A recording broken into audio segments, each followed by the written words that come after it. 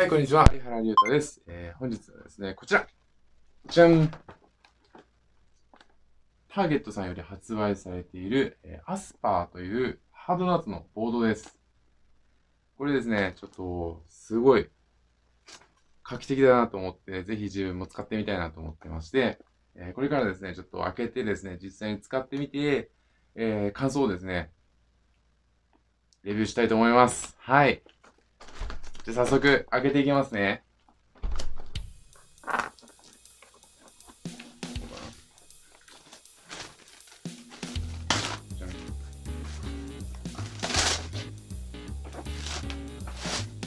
よいしょ。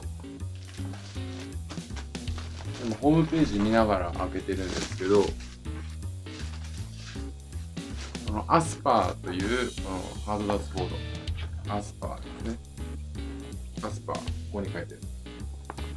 裏にも、裏にもでっかくアスパーって書いてあります。なんですけど、まず、あの、デザインを刷新したっていうふうに書いてあるんですね。以前のターゲットさんのボード、じゃん。重い。これ、これです。いやこれも全然すごくいいんですよ。別にデザイン悪いとは思わないんですけど、このターゲットっていう文字をこう上に書いてあるんですね。ここの手の部分。で、スティールのダーツボードこう、どんどんこう、回して使うんですよ。一箇所をこうやって、二重のトリプルにこう、こうケパケパが出てきたりですね、すると、これないところ、今ここないんですけど、これにこう、回して使うんですね。この、この、このリングをこう綺麗なところに。変えてよ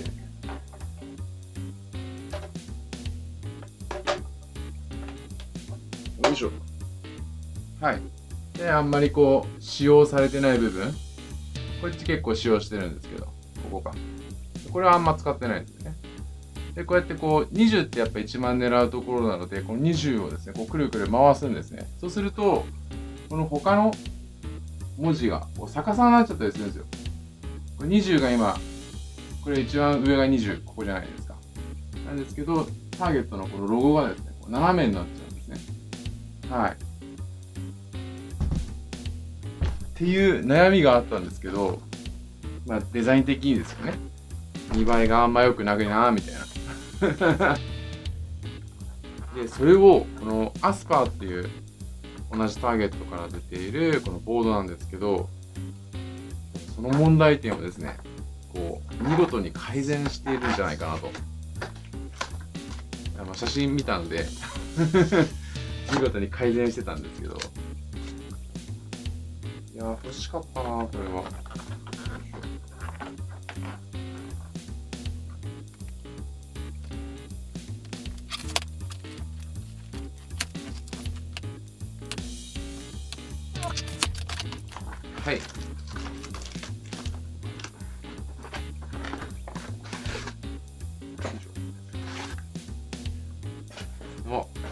新品の匂い。こっちだ。合ってる、こっちだ。いきますよ。じゃんえいじゃーんえいアスパーですね。アスパー、スティールのダッツボードです。はい。文字盤がですね、見えるかな？文字盤がこれターゲットって書いてあるのとアスパーって書いてあるのが交互にこうターゲット、アスパって書いてあるんですよ。だから、ほら、全体的に見ても、どこが上なのかっていうのが、パッと見、こう、わからない。さっきのやつだと、このターゲットって一番上にででっかく書いてあるんで、それがね、たまたまこう下になった時とかは、なんだろう、見栄えがあんま良くない感じがするんですけど、これだったら、ほら、ここ、じゃ今どこだここが20。使いました。で、ここが、ここがすごい使用感が出てきちゃったら、回すじゃないですか。また、ほら、同じアスパーの文字がこうてっぺんに来るんで、まあ、いろんなところでやっても、多分デザイン的に、すごい、スタイリッシュ？スタイリッシュ？日本語合ってる みたいな感じのボードです。ナンバーリング、そう、ナンバーリングがこれ、ちょっと違うんですよ。今までのやつは、この、これをこうパコって、ここで止まってるんで、ここが、こう爪がなってて、これをパコって外すと、こうやってほら、いろんなところからこう、ここも爪に入ってたんですけど、これもこうやって剥がせるんですね。こうやって、こうやって爪剥がせる。そうすると、これパコッと取れるんですね、こうやって。じゃーんって。っていうものだったのが、今回は、えー、何々ナンバーリングは従来のシステムからアップグレードされダーツボード上でより、えー、縦細なビジュアルを提供しますと。数字のフォントを変更し、常に数字が直立するように配置されています。っていうふうに書いてあります。はい。今までの、今までの数字は、えー、っと、20。はい、ここ20です。20なんですけど、下行くと、ほら、3、逆さになってるんですね。17も、いや、逆さにはなってねえな。逆さにはなってないですけど。違った。あの、横とかね、6とかがほら、真横向いてるんですよね。11もほら、11も真横向いてるんですよね。20上にしたら。これが要するに刷新されたと。えー、ダーツボード上で、えー、横より繊細なビジュアルを提供しますっていうことですね。数字のフォントを変更し、数字に、えー、常に数字が直立するように配置されています。はい。こういう感じですね。20が上向いてて、さっき言った6。6もちゃんと上向いてますね。読めます、普通に。11も縦書きですね、ちゃんとなってる。っていうナンバリングですね。で、あ、で、外し方は一緒っぽいです。ここに爪があるんで、この爪こうやって、ほら、ほら、こうやって、この爪ですね、ここ。ここにこうパコってはめると、使えて、外すと、これがパコって外れるってことですね。4箇所に爪があるのかな？ここと、ここと、下。ですね。はい。あと、ホームページに書いてあるのはですね、えっ、と、ワイヤーシステム。最新のワイヤーシステムは、スコアリングのための表面積を増やし、バウンスアウトを軽減させるために特別な設計が施されていますということですね。バウンスアウト、あの、ダーツがですね、このスパイダー、このワイヤーですね、この枠？枠がこうあるんですよ、ここに。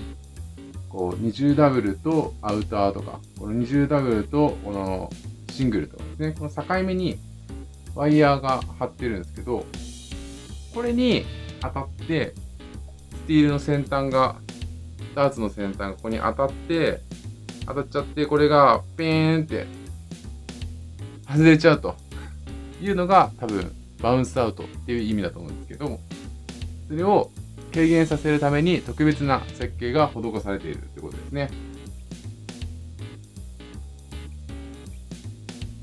結構なんか切れ味が良さそうな。なんだ、これちょっとカメラだとわからわからないかもしれないですけど、こう、こうやって横からこうやって見ると、すごい、あの、ボード？麻の部分、あの、コルクボード、麻の部分からワイヤーがしっかり出ているボードですね。え、今までのは？あ、今までのも出てます、しっかり。何が違うの？なんかでも、高級感あります。アスパーの方が、なんだろう何が違うんだろううん、ちょっと、でも全然、パッと見違います。何が違うのかちょっと、綺麗。綺麗。はい。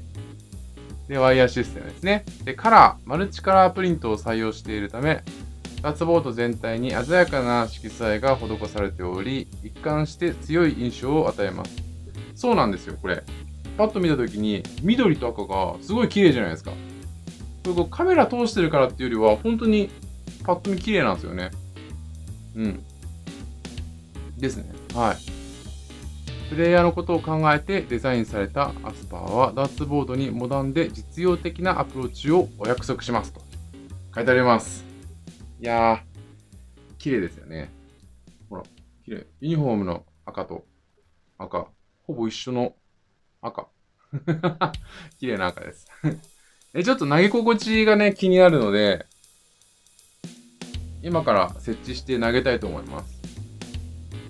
で設置の仕方なんですけど、これ、あの、多分今までのやつと変わんないです。後ろに、中心に穴が1個開いてるんですけど、この穴を使って設置します。またね、なんか付け方とかわかんない人いらっしゃったらね、そのネットで調べると多分出てきますので、え今回はちょっとその説明はしないんですけど、まあ、一般的なボードの設置、フィールダースボードの設置の仕方になるかと思います。はい。ではですね、早速これ取り付けて、あの、指導していきたいと思います。はい。はい。えー、アスパーをですね、今取り付けました。こんな感じですね。ターゲットの、えー、サラウンドにコロナビジョンをつけて、えー、アスパーのボードをセッティングしました。すごい、やっぱり、すごいですね。視認性がすごいいいですね。スタイリッシュ。めちゃくちゃスタイリッシュです、これ。はい、えー、ではですね、早速、アスパー投げていきたいと思います。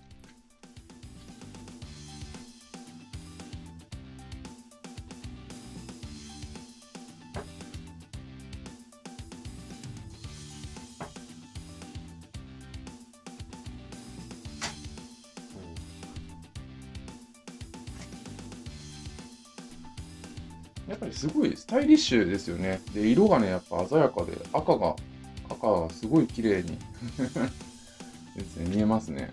はい。で、あと、あの、今、パッと投げたんですけど、ボードのやっぱ硬さ、あの気にする方たくさんいると思うんですけど、結構自分は柔らかめかなという印象を受けました。そんなにめちゃくちゃ柔らかいわけじゃないですけど、あの以前のボードに比べて少し柔らかい気がします。まあでもね、新品使ってるんでね、まだ多分この、使い慣れてないので、もしかしたらこれから変わっちゃうかもしれないですけど、今まで使ったボードに比べると少しだけ柔らかい気がします。だから刺さり方がですね、すごいしっかり刺さってくれるので、結構いいですね。好きですね。もうちょっと投げよう。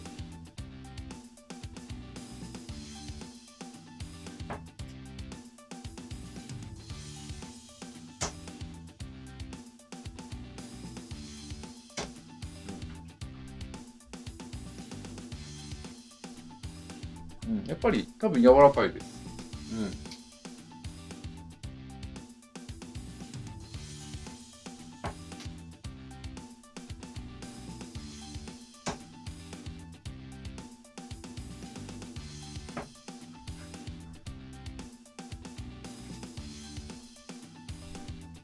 あとですね、なんか、多分これ違うのかな自分のセッティングのせいなのかもしれないですけど、なんか結構、パーンとこう、音がですね、いい音しますね。はい、なんか結構響くというか、うん、すごい刺さったよって、しっかり刺さったよっていう音を出してくれるので、投げてて気持ちいいですね、これは。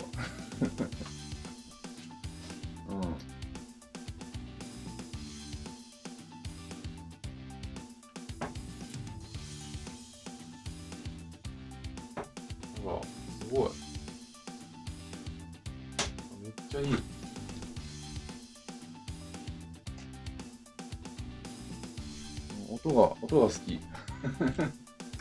え、なんだろう。やっぱり素材で音変わるのかな？変わるんですけど。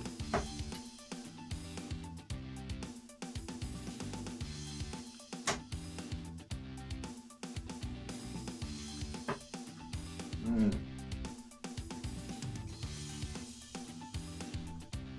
すね。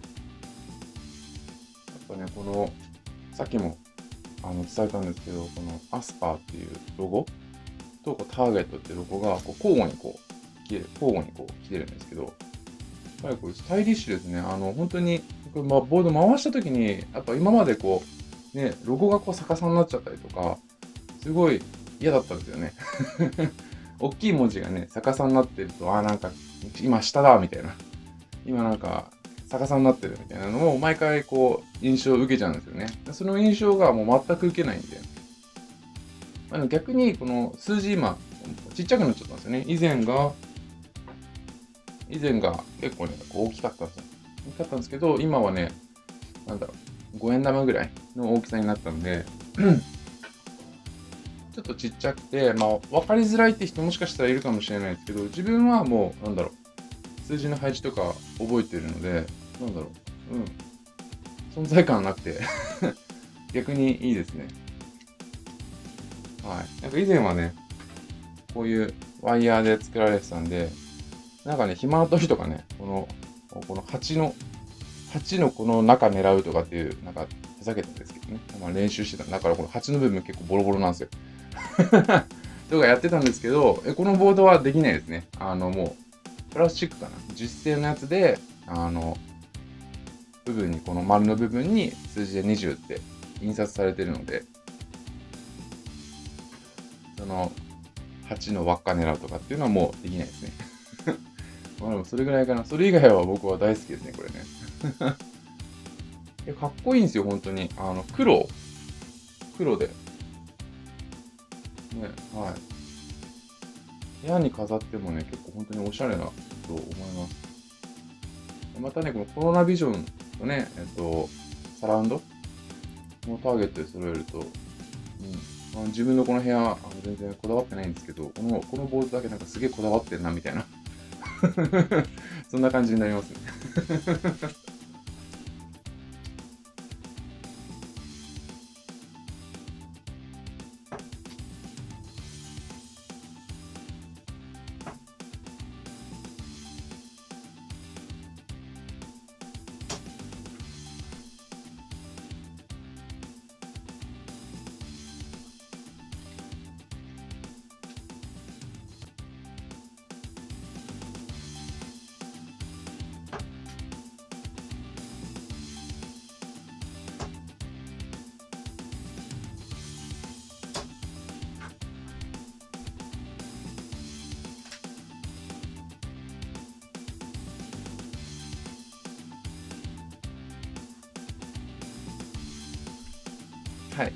えー、今ですね、このスティールの、えー、普通のスティールのダーツを使って投げてたんですけど、えー、ちょっとですね、このソフトダーツにあのコンバージョンチップをつけて、えー、と投げてみたいと思います。そう先日あの PDJ あの出てあの、すごい思ったのはですね、意外とコンバージョンチップ使ってる選手いるなって。あの、ラウンドロビンをやったんですね、PDJ で。なので、あのスコアやったりとかですね。まあ、あと決勝トーナメントで、ま負けて、その後にあのこうボードの横に立ってこうスコアやったりするんですけど、結構ね、コンバージョン使ってる選手が多かったです。まあ、たまたまかもしれないんですけどね。僕がやってる時たまたまそうだったのかもしれないですけど、なんでなんかすごい、あのね、あのトッププレイヤーの選手でも、あのコンバージョンチップ投げてる人いるんだなと思いまして、で、まあ、コンバージョンチップと本当のこのスティールの、あの、先端があの最初から針で売られてるものですね。とソフトダーツをフィールに変えるやつですね。これコンバージョンチップ。で、若干刺され方が違ったりするので、ちょっとこちらのダーツでもレビューしていきたいと思いま。す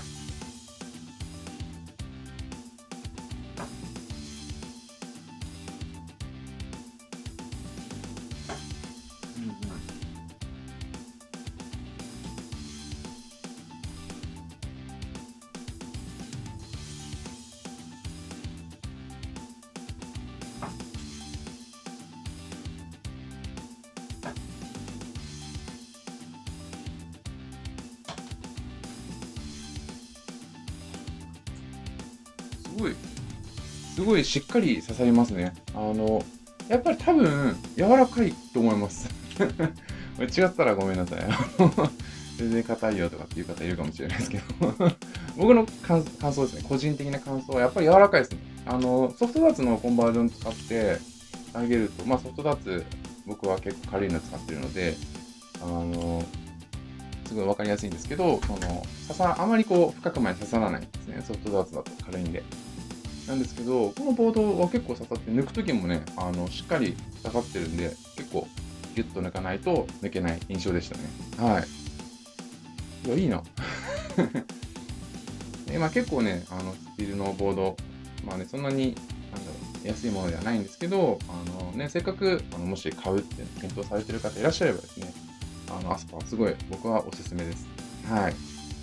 あの、本当に、本当にあの、スポンサーだからとかじゃなくて、普通に、あの、これ、僕好きですね。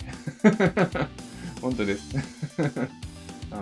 違ったら全然こんなこと言わないんで あ、レビューしてみましたって言って、うん、うん、いいですねぐらいしか言わないんですけど、本当に自分でもこれ練習で使いたいなって思うぐらい、すごいいいボードだと思いました。これは本当です。で、あの、このボードですね、あの、ターゲットのオフィシャルのサイトから購入することができますので、あの、概要欄にですね、URL 貼っておきます。もしご興味ある方いらっしゃればですね、あの、クリックしていただければと思います。はい。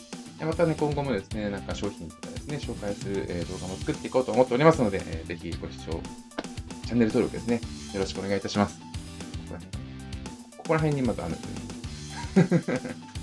はい。えー、Twitter ですね、やっておりますので、ぜひフォローしてください。えー、インスタ、Facebook もやってますが、えっ、ー、と、概要欄にはちょっと貼らないですけど、もし興味ある方いらっしゃれば、あの、ぜひフォローしてください。はい。えー、10月からですね、ソフトダーツの、えー、プロツアーも始まるということで、あの今、一生懸命練習しているところでございます。えー、ぜひ、あの、一選手として、えー、頑張っていきますので、応援よろしくお願いします。はい。じゃあまた、バイバイ。